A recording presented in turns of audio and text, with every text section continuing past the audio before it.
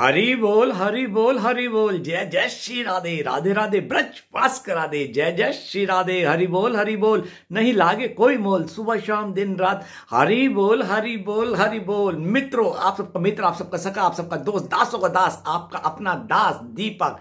एक बार फिर हाजिर है दिनांक 26 जनवरी 2021 को। सबसे पहले आप सभी को 26 जनवरी की गणतंत्र दिवस की बहुत बहुत बधाइयाँ। और आइए, आज नया हरि भाव लेते हैं। जी हाँ मुझे हरि नाम से प्यार हो गया। इसलिए हरि भाव सदा मेरे मन में उत्पन्न होते रहते हैं। श्री हरि मुझ पर कृपा करते रहते हैं। कभी राम के, कभी हरि नाम के, कभी लक्ष्मी नारायण के, कभी मेरे गोविंद के, गोपाल के भाव उतारते रहते ये बहुत सुंदर भाव आज दास के मन में उतारा और ये दास आज आपको सुना रहा है। सबसे पहले मेरा यूट्यूब चैनल, श्री हरि का दास दीपक। श्री हरि का दास दीपक। इस पर जाइए, रेड वाला सब्सक्राइब करके बेल आइकन ऑल वीडियो को दबाएँ ताकि मेरी सारी अपडेट्स आपको टाइम टू टाइम सबसे पहले मिलते रहे और आप दास के भावों का आनंद लेते रहे। दास द्वारा गाय भावों का, दास के नहीं, दास द्वारा गाय देने वाला तो गोविंद है, मेरे श्री है, मेरे सीताराम, राधा गोविंद है। तो उसका आप आनंद लीजिए। तो श्री हरि का ही नाम जपते रहो, क्योंकि दुनिया के हर रिश्ते झूठे हैं। और आज भाव यही जीवन की एक सच्चाई का है। देखो, मैं आपको फिर बोलता हूँ, हरि नाम से सच में आई लव हरि नाम, मुझे प्यार हो गया। और यही सच्चाई है जो मैंने बताई है, प्रभु ने मुझे अपने प्यार में इस तरह से साध लिया है कि मेरी मन इंद्रियाँ प्रभु के प्रेम में मोहित हो गई हैं। इसलिए मैं सदा श्री हरि में मस्त रहता हूँ। मैं तो सदा जपू हरि नाम, श्री हरि की कृपा से।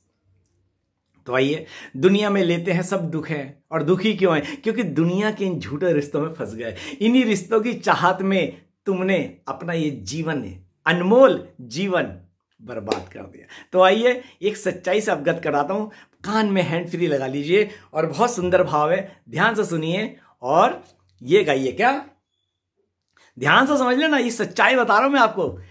तेरे दुख का कारण तू है। बिल्कुल हम ही अपने दुख के कारण हैं। कोई और हमारा दुख का कारण नहीं है। जो हम बो के आए हैं, उसका प्रारब्ध ही भुगत रहे हैं। कष्ट, पीड़ा, जो भी आती है। कष्ट, पीड़ा, चोट, दर्द, अपनों से लड़ाइयाँ, ये सब हमारे कर्मों का फल है। मैं हंस के इसलिए बताता हूँ क्योंकि ये मुझे हँसी आती है। देखो, हम अपनी करनी दूसरों में थोपते रहते हैं और सच्चाई ये है, हम वही कर भुगत रहे हैं। जो हम बो के आए वही काट रहे हैं। इसलिए मैं खुश रहता हूँ, मैं पॉजिटिव रहता हूँ क्योंकि मुझे हरी नाम ने पॉजिटिव कर दिया। तो आइए हँसते रहिए। बहुत सुंदर भाव, कान में एंड फ्री लगा लीजिए और बड़े ध्यान से सुनिएगा। एक एक शब्द सच्चाई से आपको अवगत कराएगा। तेरे दुख का कारण तू है, जो तू दुख ये भोग रहा। तेरे दुख का कारण तू है, जो तू दुख ये भोग रहा। अब भी तेरा कुछ नहीं बिगड़ा, अब कुछ नहीं बिगड़ा। आजा हरी शरण में आ। तेरे दुख का कारण तू है जो तू दुख ये भोग रहा। तेरे दुख का कारण तू है। हम्म, देखिए ये एक सच्चाई है इससे आप जुटला नहीं सकते। मैंने बताया ना यही एक सच्चाई है। मुझे समझ आ गई इसलिए मुझे गोविंद से प्यार हो गया क्योंकि गोविंद की शरणागति में ही सब दुखों से छुटकारा है। इसलिए हम गोविंद के ये दास तो गोविंद के आनंद में आनंदित रहता है और सबको जगाता रहता है, यही कह के। तेरे दुख का कारण तू है, जो तू दुख ये भोग रहा। तेरे दुख का कारण तू है, जो तू दुख ये अब भी तेरा कुछ नहीं बिगड़ा, अब भी तेरा कुछ नहीं बिगड़ा। आजा हरी शरण में आ, तेरे दुख का कारण तू है। हरी बोल हरी बोल। यही जीवन की सच्चाई है और अंतरे पे ध्यान दीजिएगा। ध्यान दीजिएगा अंतरे पे। श्री हरि से जोड़ लेना था हरि ही साथ निभाते हैं। श्री हरि से जोड़ लेना था हरि ही साथ निभाते हैं। दुख में कोई साथ ना देता, झूठे रिश्ते नाते हैं। ये याद रखना ये लाइन कि श्री हरि ही साथ निभाते हैं और दुख में कोई साथ नहीं देता। ये बात समझ लेना, गाठ मार लेना। समझ गए? दुख में कोई साथ ना देता, झूठे रिश्ते नाते हैं। जिसने थामा हरि का दामन, हरि ने उसको संभाला है।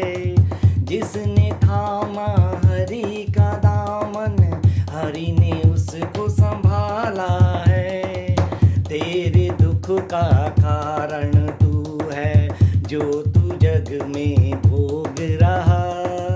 तेरे दुख का कारण तू है हम्म, यही सच्चाई है। हरि का दामन थाम लो हरि हर संकट दुख पीड़ा से निकाल देंगे। ये मेरी खुद की अजमाई हुई बात है तभी तो गोविंद के आनंद में आनंद रहता हूँ। मस्त राम मस्ती में आग लगे पापों की बस्ती में। हम्म, हरि बोल। हरि बोल। हम्म, हम्म, ध्यान दीजिएगा। तूने ही दुनिया में आकर श्री हरि से किनारा किया। यही सच्चाई है। हम दुनिया में आके भोगों में पड़ जाते हैं। मैं मेरे में पड़ जाते हैं झूठे रिश्तों में फंस जाते हैं। हर रिश्तों में फंस जाते हैं लेकिन हरी से झूठ हरी से झूठ मूठ भी प्यार नहीं करते किनारा कर लेते हैं। तूने ही आकर श्री हरि से किनारा किया। रिश्तों संग तूने प्रीत लगाई, भोगों से यारा ना किया। बहुत महत्वपूर्ण लाइन बोली मैंने ये। रिश्तों संग तूने प्रीत लगाई, ये सब रिश्ते। मेरी बीवी, मेरे बच्चे, मेरा यार, मेरा दोस्त, कोई नहीं है, सब मतलब के हैं। और इन्हीं में पढ़कर, माया में फंसकर तूने भोगों साथ दोस्ती कर ली, और यही भोग तेरे दुख का, पतन का कारण बने। रिश्तों संग तूने प्रीत निभाई, भोगो संग याराना किया। ये ही याराना तेरे सब पापों कारण ही बना।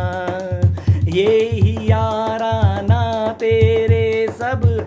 पापों का कारण ही बना। तेरे दुख का कारण तू है। तू सुन ले जग में जरा। तेरे दुख का कारण तू है। तू सुन ले हरी बोल हरी बोल हरी बोल। नहीं लागे कोई मोल सुबह शाम दिन रात। हरी बोल हरी बोल हरी बोल। तो तेरे दुख का कारण तू है, जो तू जग में भोग रहा, ये तू सुन ले जरा। कि तेरे दुख का कारण तू है, जो तू जग में भोग रहा, और ये बात सुन ले जरा। ये आप सबको मैंने सुनाई है। तो हमें कोई कष्ट नहीं देता। हम ही फंस जाते हैं, यारी में, दोस्ती में, भाई बंधु में। अभी मैं थोड़े दिनों पहले कुछ लोगों से मिला, उनकी प्रीत ऐसी लगी हुई रिश्तों में कि वही सब कुछ है।